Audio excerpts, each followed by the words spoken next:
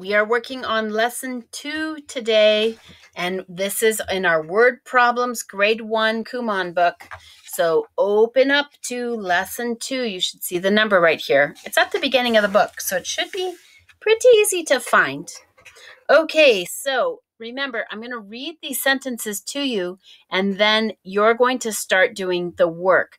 I'm going to give you some times where I need you to pause the video so you can finish the work by yourself, and then just come back and check it. So let's do a couple together, and then I'm going to let you do them all on your own.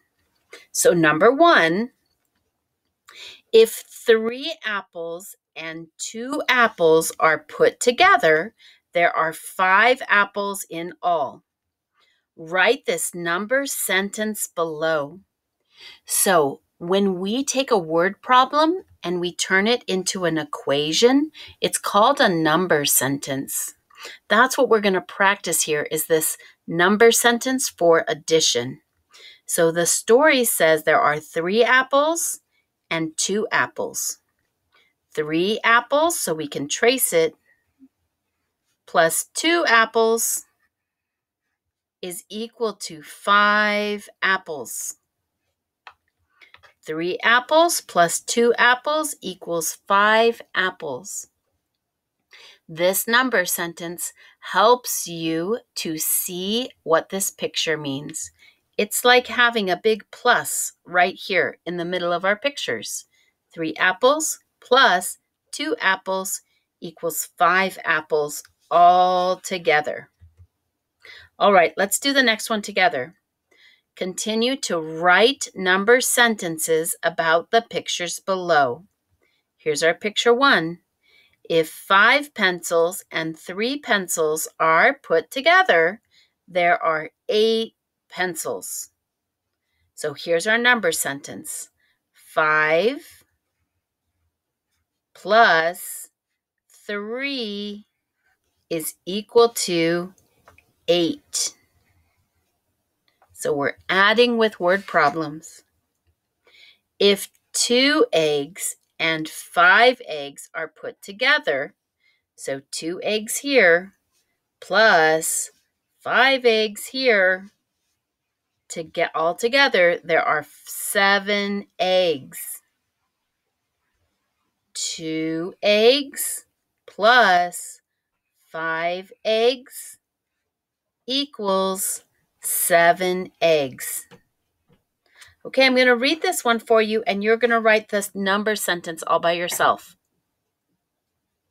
If four fish and two fish are put together, there are six fish. Write the numbers.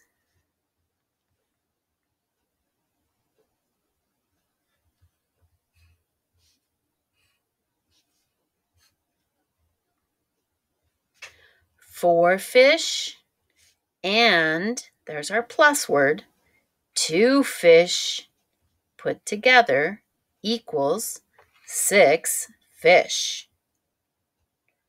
Look at all the colorful sheets of paper.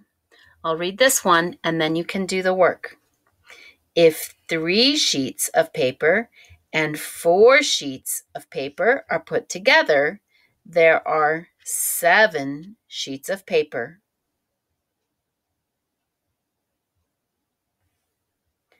Three sheets plus four sheets equals three sheets plus four sheets equals seven sheets. How did you do? Did you get them all? If you didn't get them, fix them so they look like mine. If your work looks like mine, you are ready to move on. So if you need to fix it, pause the video. We're starting here with number three. Write number sentences about the pictures below. Okay. In the middle, they put these green circles and they say, all together there are. Do you see that? All together there are. Altogether, there are. Altogether, there are. Altogether, there are.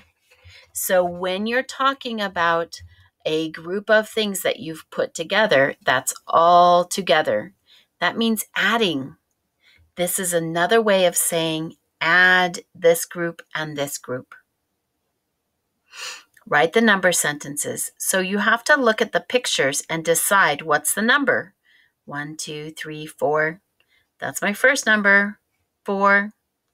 One, two, three. That's my second number. Three. All together, that means both numbers together. Four, five, six, seven. Seven. I can practice my counting on when I'm doing this work. Okay, look, they gave you a clue about the first one. How many children? Three.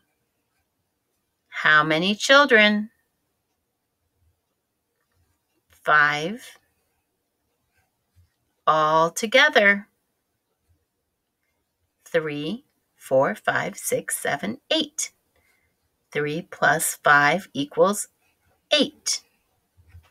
Okay, you have two birds and four birds, four dogs and five dogs, six apples and four apples.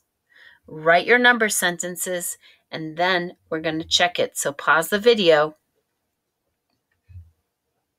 All right, you should have all of your sentences here. 2 plus 4 equals 6. Did you get it right? 4 plus 5 equals 9. How did you do? 6 plus 4 equals 10.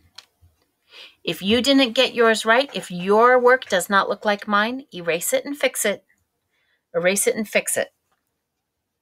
So pause the video and fix the work if it doesn't look like mine.